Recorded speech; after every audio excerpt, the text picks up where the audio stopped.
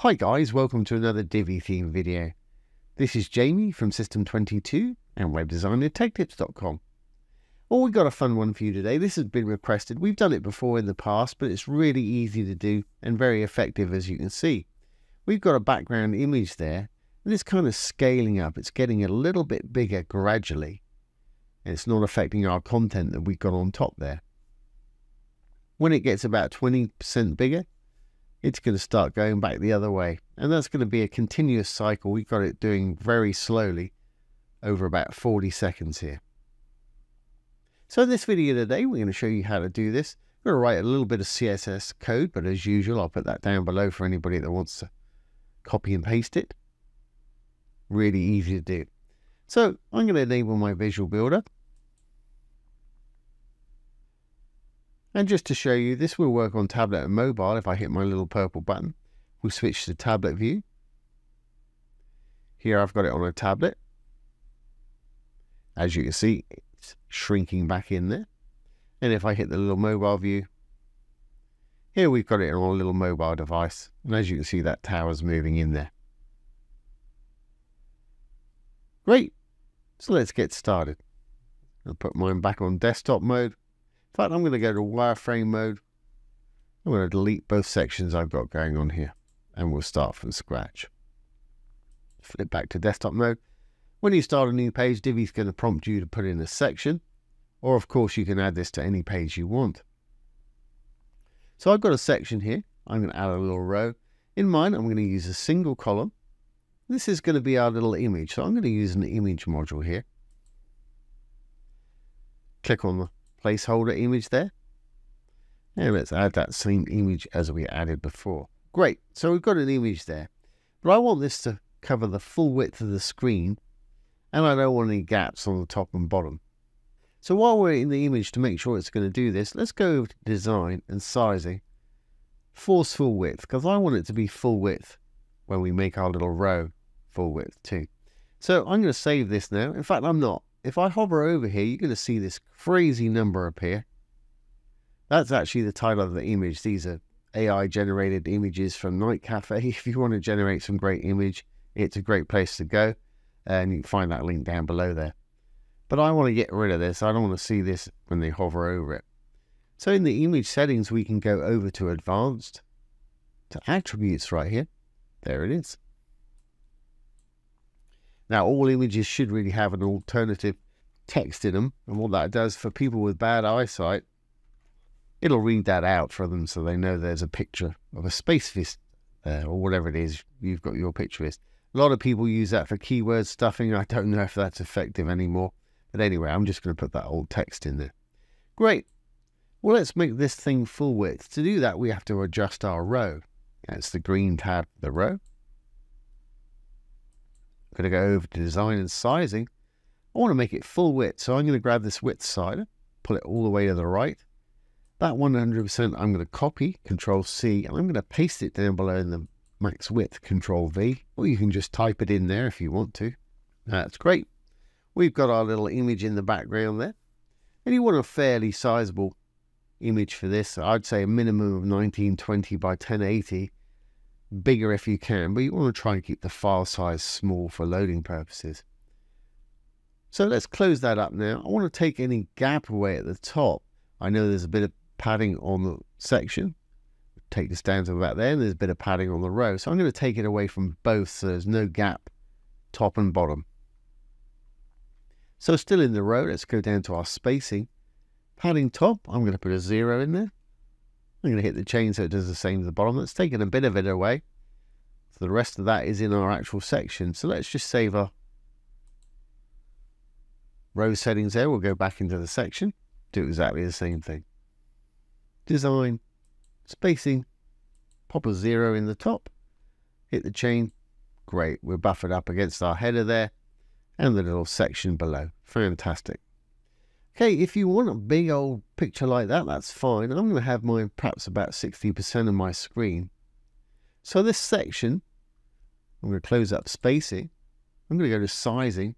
Height-wise, I'm going to give it 60 VH, which is viewable height. So it's going to be 60% of the viewable height. Now you can't see any difference there because This is what they call overflow, and that's our image module. So the actual section is only about this tall, but the overflow is making the image flow over. To hide that, we need to go to our advanced, down to visibility. We're still in the section here.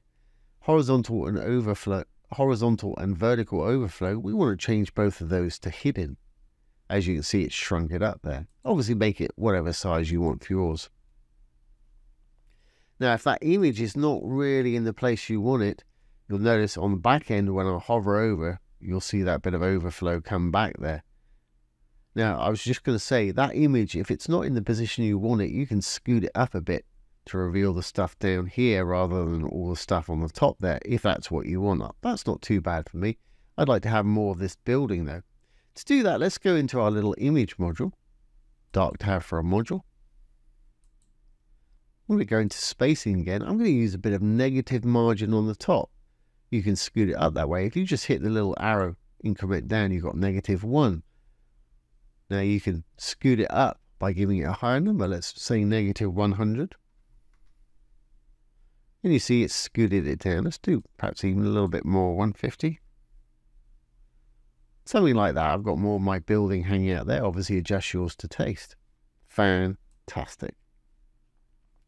So we've got our little full width section there. That's 60% tall if I take my mouse off of it. Let's add another little section below now that we're going to scoot on top of it. So I'm going to hit the little blue button to add a new section. I'm going to use a regular section. And here's whatever content you want over the top of it. And I'd keep it fairly small because on tablet and mobile, you don't want it larger than the screen sizes really. So again, I'm just put a single row mine. You can put two or three columns in yours if you want to and put different stuff in there. Let's just throw a call to action in. I'll leave everything just as it is, your title, what you want the button to say, and the content right here. I'll just leave that as it is. I'm sure you've got some real stuff to do on yours. In the link just down below, once we put a, a link in for the button, the button will show up. And there it is right there. And always best practice, if you're linking to your own site, leave it in the same window. If you're linking off-site to somebody else's tab, open it in a new tab. That way your site's going to stay open. Great, and I'm just going to shoot down to background here. Background's always under content. I'm going to turn that into a black. I'm going to click on the actual black field itself, and this slider over here is opacity. So you can kind of see through it. I'm going to take it down to about 50%. Reason it's going grey is it's good showing that white through there. That way, when I scoot it up over the top there, you'll be able to see some of that image through there. Great, well, let's just save our call to action there. And of course, I want this over the top of our image here. To do that, I'm going to go into the section, the blue tab itself. Remember we made this one 60 viewable height, and that'll be whatever viewable height it's on. And we'll, adjust this a little bit for tablet and mobile in a moment.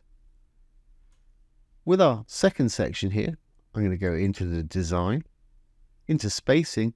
I'm going to give it negative 60 viewable height. See what happens then. Negative 60 VH. As you can see, it's scooted it up on top of our image there. I'm also going to give it the same size because if I don't, our little section below is going to be hidden. So again, I'm going to close that spacing. Sizing wise, I'm going to give it a height 60 VH also. As you can see, that little section has revealed itself fully now back to where it was, and these are the same height on top of each other. I just want to scoot this down a little bit so it's slightly more central to me. So again, I'm going to go into spacing. I'm going to use a bit of padding top. Let's use, I'll try 15 viewable height, see what happens. That's actually not too bad. Great. Okay, if you're planning to use these on tablet and mobile, I'll show you how you can adjust it. Let's go to our little tablet view. If you haven't done it, click on your little purple button so it expands. Here's a tablet view right there. And as you can see, that's not really working for us. I need to bring it up a little bit. I need to make this section deeper here. So let's go into our top section. As you can see, it's still 60 viewable height, which is actually tall enough. So we need to make that image bigger. Now, if you can't get to the image because it's behind our other row now, we can go to wireframe mode, get into our image that way. Flip it back to the view that you were looking at there. We need to go over to design and sizing. We're going to go to height, hit the little mobile phone type icon. If you hover up over, you'll see these icons appear. And instead of auto, let's try 60 viewable height. Not quite. Let's try 80. That's going to work absolutely fine. Now that's working fine, but it has kind of distorted that image a bit. It's pulled it a bit too long. I'll show you a little trick to get over this in a minute. Let's, while we're in here, look at the mobile version. So I'm going to click on the mobile tab here. And again, we're on the mobile version here. We'll try 60. See what happens. 60 VH. Not quite. Try that 80 once more. Yeah, again, that's going to do it. Might take a bit of that padding away on the section above there for mobile view. That's actually fairly central for the tablet view. So let's flip back to our little mobile view. I'm going to go over here and do it. We'll take a look at the section that this is sitting in. I'll take a little bit of that padding away on mobile so that's just slightly higher. Obviously, that's up to you. And again, if you have trouble getting to it, we can flip to wireframe mode. This is the section I want with the call to action in it. We hit the little cog there, flip back to phone view. Over to design and spacing, we put that padding on the top. Again, make sure you roll over, get the little mobile phone type icon. So we're on the right one for the right thing. At the moment, we've got 15 viewable height padding. Let's take that down. Let's try 8 viewable height. What about half as much? That's going to work fine. On tablet. I'm pretty happy with that on tablet. And then here we have the full screen. Okay, what I was saying earlier about if you look at it on the full screen, it has that nice image, the planets around. If we go to tablet mode now, planets have kind of gone a little bit oval because it's stretched it. And it'll probably do it a little bit more even when we go to the phone view. So we can get around that by going back into our little image module. Again, we'll go to wireframe. Open the image module. I'm going to go to tablet view first. And not a lot of people know this. You can actually have three different images in your image module. One for desktop, one for tablet, one for mobile. Again, all you need to do is hover over the dark writing that says image right there. Hit the little mobile phone type icon again. We're on our tablet mode. Just click on it. We'll load a new one. I've got one cropped for a tablet. Nice round planets again. And I've got another one cropped for mobile. So again, just going to click on that. And here's a taller one for the mobile. And again, our planets are nice and round, so it's not quite so distorted. Great. Well, it's time to actually create the animation now. We've got everything in place. As you can see, we've got this on phone, this on tablet, and this on desktop. So while we're in the image, this is where we're going to write our CSS code.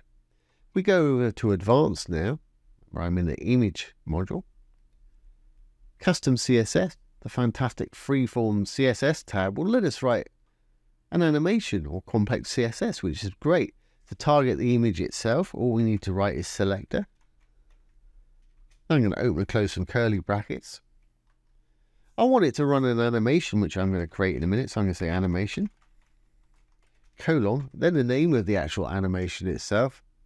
I'm going to call it image grow. That's my shorthand. You can call yours what you want. It wants to be unique, so it's IMGR for image grow. I want it to run mine for 40 seconds. And I'll show you how, how you can change this if you want to speed it up or slow it down. I want it to be linear, so it's actually smooth. And I want it to keep going and going and going, so I want it to be infinite. Fantastic. Now we need to create this animation called IMGR. We're using keyframes for this today. Keyframes are almost like stop frame animation with video. You've got a bit of a timeline, our 40 seconds there, and you can decide what you want to happen with keyframes. So I'm going to say at keyframes, then the name that we gave it, which is IMGR. Now I can open and close some more curly brackets. We can tell it exactly what it, we want it to do during that 40 seconds. So at 0%, 0 and the percent sign, let's open and close some more curly brackets here. I want it to be just exactly like it is. 0% is when the page loads or second one of our 40 seconds up there. So I'm going to say transform, colon, scale. Right at the end of scale with no gap, we put some round brackets. I want it to be regular size when the page loads, just as it is now. Regular size would be 1, which is 100%. I'm now going to copy this from the 0 to the first curly bracket there, not the second one. The second one's encapsulating our, our whole animation here. Once I copy that, Control C, I'm going to drop down, paste it in there again, Control V to paste. I'm going to drop down one more time, Control V to paste again. At 50%, which would be the 20 second mark of our 40 seconds up there, I'm going to have mine scale up to about 1.2%, so 20% bigger. And obviously these things adjust to your taste. As you can see, it's actually started animating already there. Then at 100%, end of the 40th second there, I want it to be back down to normal size. Now, if you want to speed it up, obviously put a smaller value in here. If I change that to 20 seconds, you'll see that it does it a lot quicker. I like the slow effect for drama, and in some situations, the quicker one's going to work for you. And if you want to scale it up even bigger, you can do. If I put a 5 there instead of a 2, that will make it half as big again, or 150%. Like I say, you're going to lose a bit of resolution if it gets as big as that, but Again, for some situations, that's going to work. I like mine as it was, so let's just change that back 1.2 and 40 seconds for almost kind of Ken Burns-ish type effect. Just catches your eye as it's moving there. Fantastic. Let's just check that on tablet and mobile. I'll put this CSS code down below the video for anybody that wants to copy and paste, as usual. Let's just save our changes there. It is on a tablet. As you can see, it's rolling in there. And on a mobile, we've got it rolling in there as well.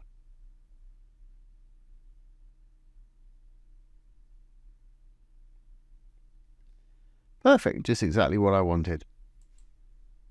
So there you go, guys. There's how to create a kind of mock Ken Burns animated background image and have a bit of content over it. Let's just make sure this is going to work on the front end. I'm going to save my draft down here. And we'll exit the visual builder. That way now when we roll over it, you won't see that overflow spilling out there. And that's a really nice effect.